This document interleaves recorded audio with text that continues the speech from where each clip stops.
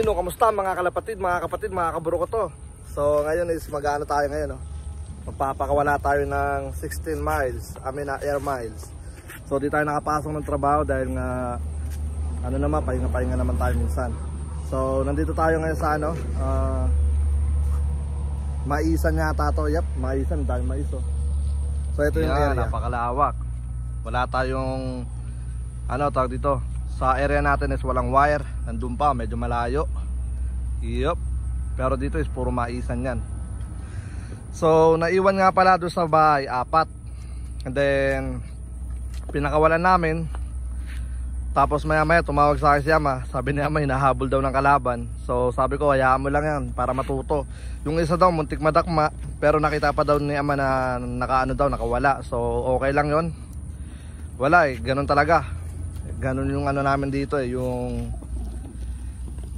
pag-iibon. Kalaban namin talaga is matindi. Alright, so pahinga lang tayo ng mga ano. I think kulang pa sila ng mga 4 minutes and then lalarga na itong mga to. So gagawin natin sa mga to, sabay-sabay na sila para ano, uh, kasi ganun din naman eh.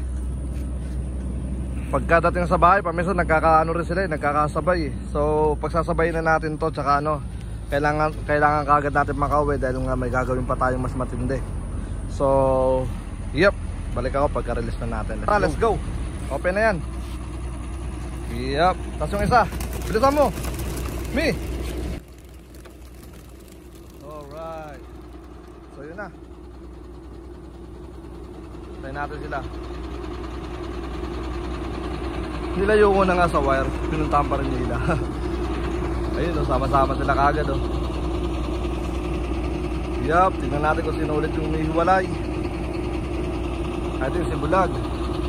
And then, yun nga, lalayo na muna tayo rito sa maingay na to. So yun mga kalapatid, mga kapatid, mga kaburo ko to.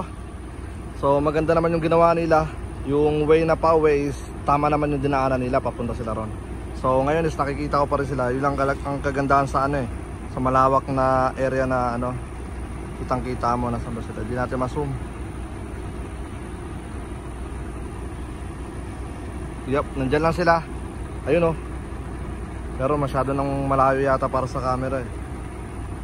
But yun nga, nantay ko lang silang ano, tuluyang mawala kasi baka after 10 minutes is babalik pa sila. So tingnan natin. So yun, at babalik ako mamaya maya bago tayo malis. Let's go! So yun mga kalapatid, mga kapatid, mga kaburo ko to. Bali, nakita ko sila ano na, on the way na talaga sa bahay natin. Yung way na nililipad nila is ano, uh, papunta talaga dun sa area na pauwi. So baka madaanan pa natin sila kasi nakita ko sila papunta na rito. So di naman na sila bumalik. So ibig sabihin is magandang ano 'yon, senyales. So tingnan natin na uh, nag-release tayo ng ano 8:10 and then tingnan natin kung maunahan natin sila pauwi. Kasi mula rito is ano almost 40 minutes. And then ay 55 mga takbo natin dapat ay naka 60 na pala tayo. So yun nga uh, hintayin natin yung mga ibon natin I mean, uh, sana ano mauna tayo or maunahan tayo. So tingnan natin kung sino mananalo. May sino mananalo sa palagay mo? Tayo yung mga ibon? Pustahan dali. Tayo. Pag nauna tayo meron kang? Ano meron kang ano? Pera. O sige, ayun ang deal natin ha So magagala muna tayo para medyo matagal. So ayun mga kalapatid, uh, balitaan ko kayo mamaya.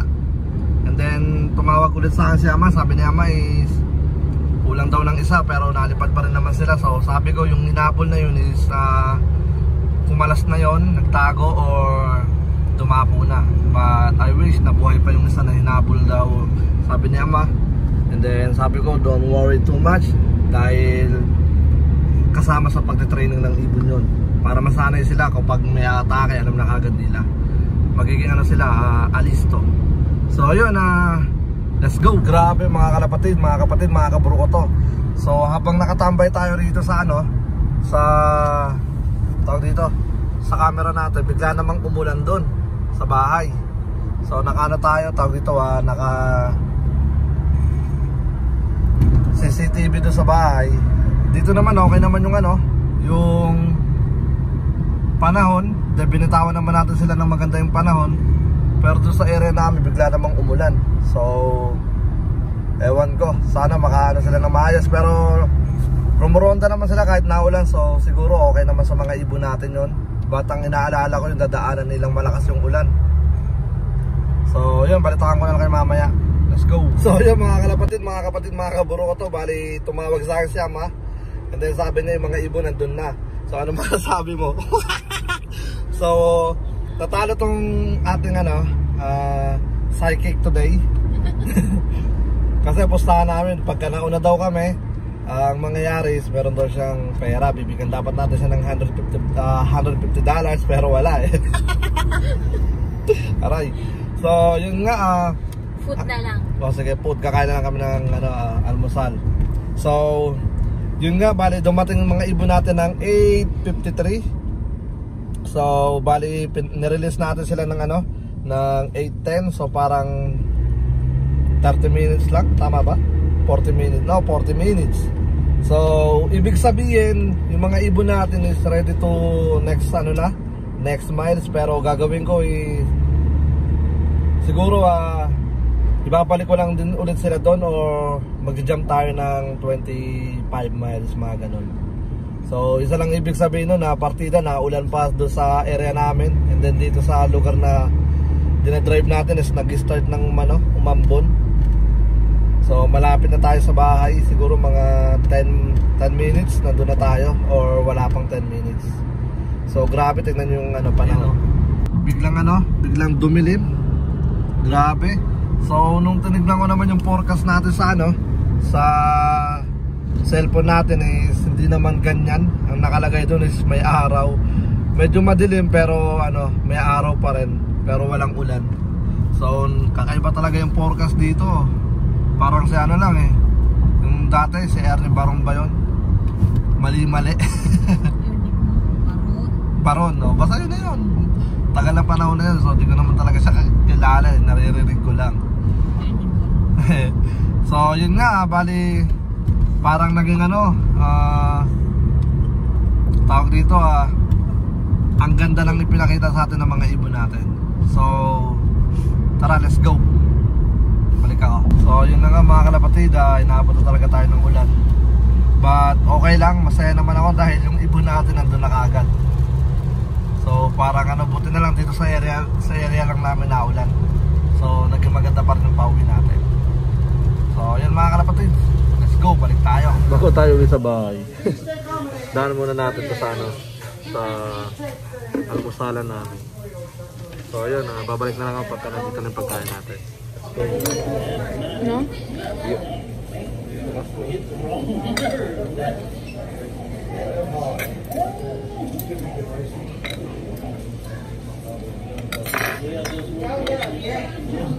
So ayun mga kalapatid, mga kapatid, mga kaburo ko to Bali nandito na tayo sa bahay Then ito yung mga ibon natin. So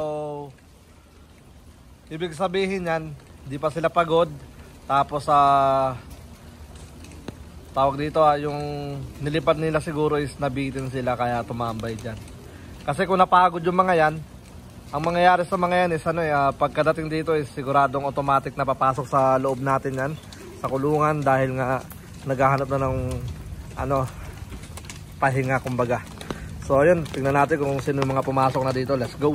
So ito si replica tapos si Marcos yun oh. Tapos sa kabila tingnan natin sa kabila kung sino pumasok sa kabila. Yung mga young bird natin oh. Yung dalawang puti dalawang red check tapos yung pansy pigeon tapos yung napilay. Alright, tingnan natin yung ano yung mga nandito sa kabila. So meron tayong dalawa sa kabila. Isa naman dito. Ayun oh. Alright. So napakaganda ng ginawa ng mga ibon natin. Like di man sila na ano, napagod talaga. And then siguro sa next mamayang hapon pagka umaraw ah, susubukan natin na pakawalan ulit yung mga to or itotos natin sa malapit para matadtad na yung ano nila yung mga katawan nila at magkaroon sila ng solid na ano na muscle so yun uh, Mukhang okay naman sila lahat. Then balitaan ko kayo mamaya pagka pumasok na yung mga yan. So yun, ah nagbabaan din yung mga ibon natin. Ayun sila oh. So nakakatuwa lang kasi kahit naulan di sila nababasa. So isa lang ibig sabihin yan talaga napaka-healthy ng mga ibon natin. So sana hanggang sa mag first race, yung mga ibon natin ganyan pa rin. And then ngayon, is iwasan muna natin magpakawalan ng ano, ah, umuulan. But di naman natin talaga sinasadya na saktong umuulan habang tinetraining natin yung mga ibon natin. So siguro ah, pahinga muna natin sila mamaya pala. Dahil baka mahirap na, di ba? So kailangan alagaan natin yung pagiging healthy ng mga ibon natin.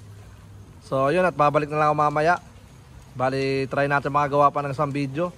Bali hanggang dito na lang muna yung video natin. Ako nga po pala ulit si Brown G. At welcome sa aking channel. Peace out!